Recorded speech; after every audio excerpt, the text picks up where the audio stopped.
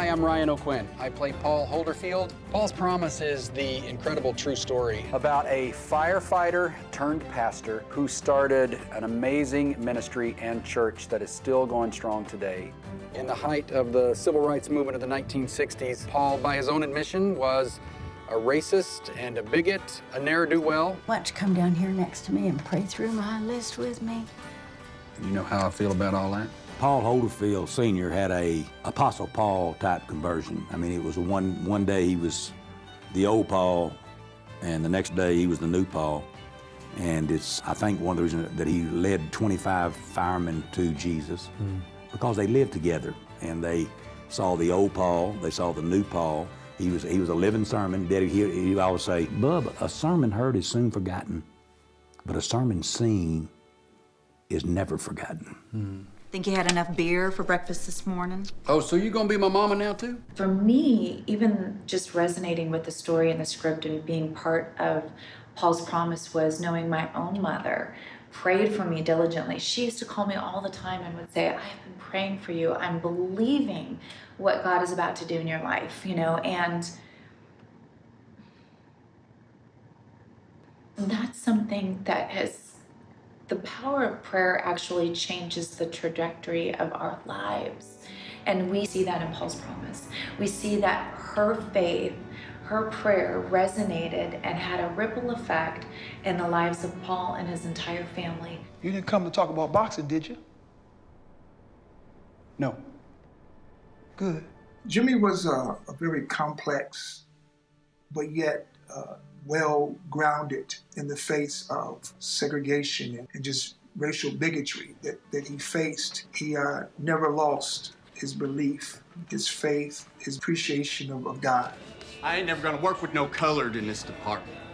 Your dad had some folks in his ear when he told them what part of the city he wanted to go to. They'd say, Paul, you're gonna get you're gonna get killed down there. Now they don't want you down there and you're gonna get killed down there. And daddy would say, you know, I'd rather get killed down here doing something for Jesus than than to die in the cleanest hospital in Little Rock later on after we become such a blessing to the community. And the community, by the way, became such a blessing to us.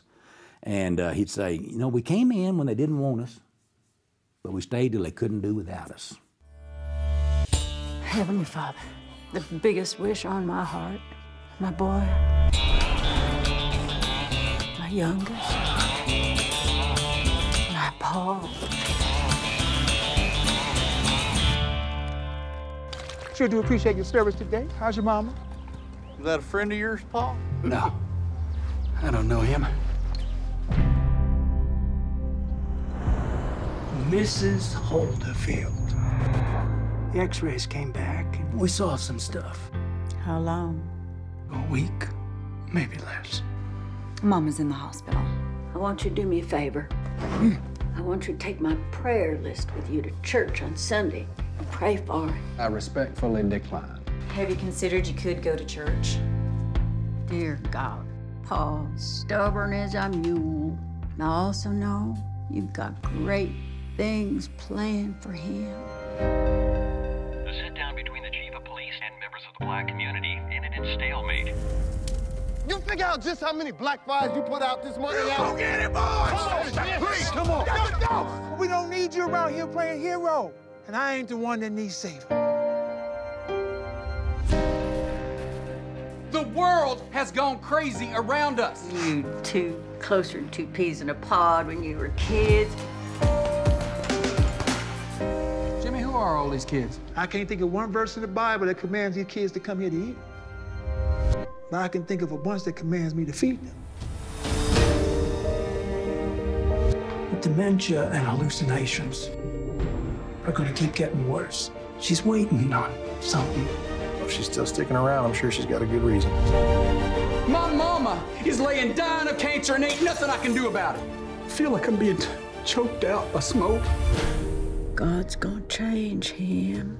Don't you dare give up.